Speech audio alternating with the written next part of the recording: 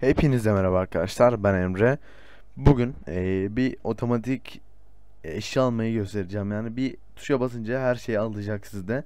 Mesela eee, bir 4000 paranız var ve siz bunu kendinize göre ayarlamak istiyorsunuz. Şimdi öncelikle yapmanız gereken bu programı indirmek. Bu programda hiçbir var riski yok. Zaten programla alakalı bir şey yapmayacaksınız. Sadece bir program yani.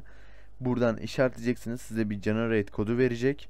Yani oluşturacak bir tane kod siz onu konsola yapıştırınca o tuşa basınca e, şurada tuşa ayarlıyorsunuz.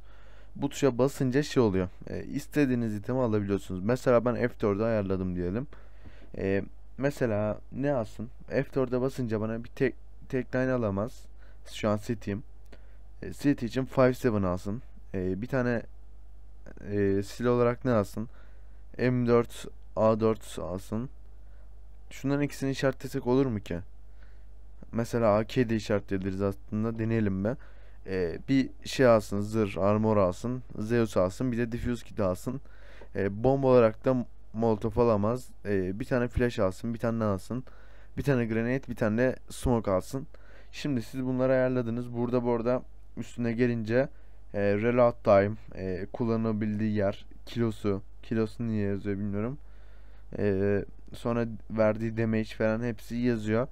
Ee, şimdi mesela buradan AP istiyorsanız burada yazıyor AP'nin 460 e, SE atınca galiba. E, burada her şey yazıyor.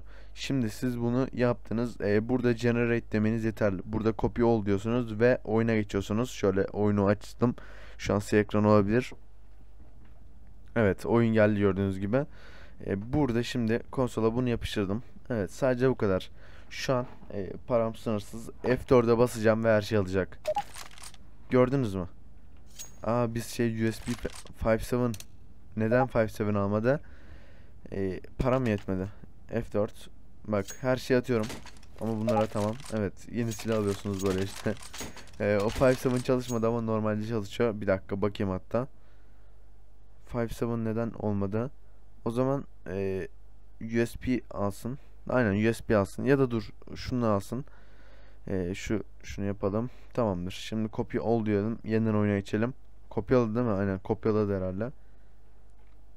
Kopyalamadı lan herhalde. Ben CTRL C yapmayı unuttum. Şimdi F4'e bastık. Evet oldu. Daha bir şey olmuş. Tamam. Böyle gördüğünüz gibi her şeyi alabiliyorsunuz. F4'e basınca her şeyi alıyor. Ee, o zaman e, video izlediğiniz için teşekkürler. E, diğer videolarda görüşmek üzere. Video beğenmeyi unutmayın.